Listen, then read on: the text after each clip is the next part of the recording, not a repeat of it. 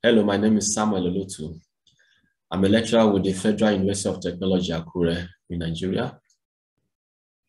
The paper I'm presenting today is titled Hybrid Spam Message Detection using Convolutional Neural Network and Long Short-Term Memory Techniques.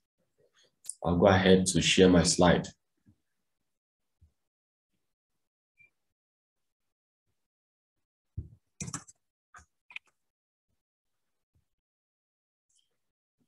I worked on this paper alongside Dr. Mrs. Oladuni Daramola.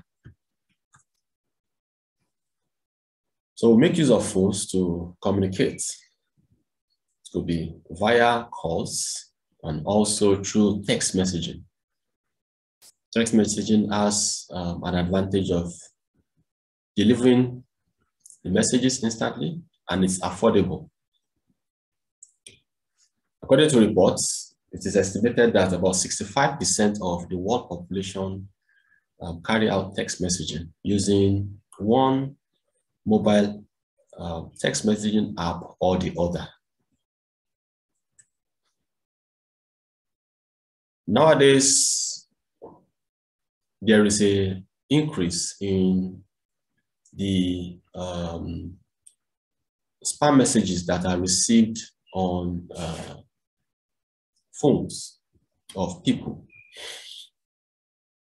These are messages that are meant to lure unsuspecting users into uh, becoming victims of fraudulent activities. Here are some examples of uh, messages that have been received in the past. Your account has been deactivated for your protection. You need to take steps to reactivate it.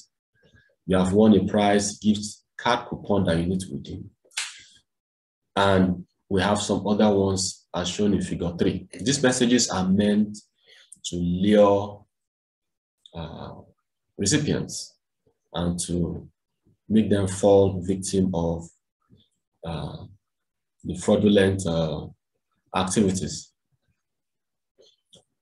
The spam messages come with some dangers if not um, taken care of uh, properly. That's the, the first one is personal information leak. So informations that are meant uh, for confidential reasons could be leaked out and used against uh, the wish of the owners. Access to unauthorized data could happen. Invasion to privacy could also occur. The convolutional neural network has a number of layers. We have the input layer, we have the layers that carries out the mapping of the features. The fully connected layer is used to produce the output. In the long short-term memory model, the first layer is the input layer. The, um, beg your pardon. The first layer is the forget layer. The second is the input. The third is the output. So the LSTM model uses, uh, keeps the memory of previous timestamps and uses it to update the current timestamp. Aim of this study is to design a hybrid uh, model of the convolutional neural network and the long short-term memory model. This is implemented using um, SMS spam datasets that is fetched from uh, the repository. And the evaluation is carried out uh, to verify the performance of the model. Proposed model contains uh, the different modules. We have the input, which is supplied to the word embedding that converts the text data into numeric uh, vectors. This is supplied into the CNN model, and the output of that, uh, which is the extracted uh, feature, is supplied to the LSTM that carries out the uh, classification into spam or ham. The ham stands for the legitimate message.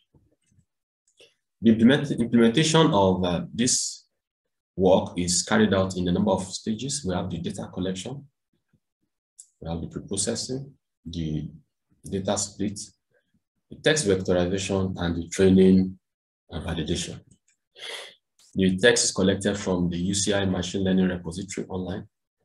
Contains about 5,574 uh, messages in English language. And these messages are labeled ham, either label ham or spam. We have 4,827 as ham, while the remaining 747 is labeled as spam, and they are uh, mixed um, in the data set. The processing is carried out by cleaning, stemming, and lemmatization. In the cleaning, the punctuation marks are removed. The stop words also are removed because these two categories of words or symbols have no relevance to the prediction uh, process that we're about to carry out. The stemming ensures that the root word the, the, the root word of every of the words is used to maintain uh, a uniform um, representation of the words inside the dataset. As you can see here, the four words are from the root word develop. The lemmatization ensures that the stem words do not lose their meaning. So the word that carries the meaning of the stem words are used to represent those words. Data is split into the training, the validation, and the testing. It uses the ratio 60% to 20% and to 20% respectively. The text vectorization is carried out using the word to vec method. The messages in the uh, data set is broken down into tokens. That is the individual words. And each of those words are converted to vectors using this model, as we can see in figure 12.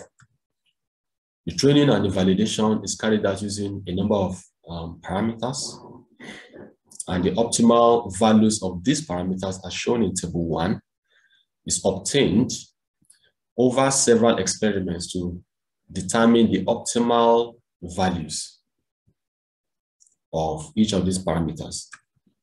Performance evaluation is carried out after the training and the testing of the model by comparing it with um, existing models such as the k-nearest model, the AdaBoost, the uh, decision tree, random forest, the LSTM the CNN. And from the table as shown, is saying that the accuracy, precision, and the recall and the F-score uh, is highest for the proposed model. Also compared with existing related works, we see that the proposed model uh, performs better than the others in accuracy as shown. In conclusion, we have been able to uh, design a CNN and LSTM uh, combined model we use the SMS spam collection from UCI to implement the model. The model is evaluated with existing models and the uh, result shows that the proposed model outperforms the existing models. Thank you for listening.